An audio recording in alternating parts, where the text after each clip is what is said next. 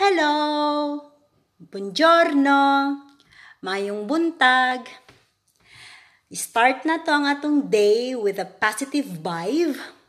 And because si Mr. Sun nagpakita na jud, karon pa ko nagmata guys, mga amigo, mga amiga. Okay, tanaw na to si Mr. Sun. Yay! Nagpakita na jud siya.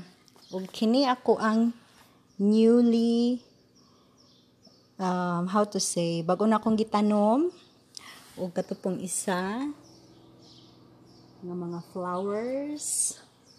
Hopefully, nga magbukadkad na sila, same as the, same as a new hope and new opportunity in our life. Maunang akong ingon ako sa inyo mga amiga, mga amigo. Good vibe lang ta every morning and always pray and thanks to God what He has done into our life. Thank you so much. Mga pisa ta or kung kinsay gusto magkape, magkape na.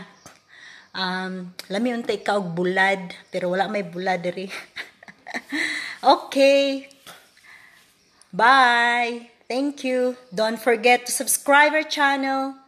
Click the like below and press the notification button so if ever that we have a new video, you will notify on it. Thank you so much. Daghang salamat. Ciao, ciao.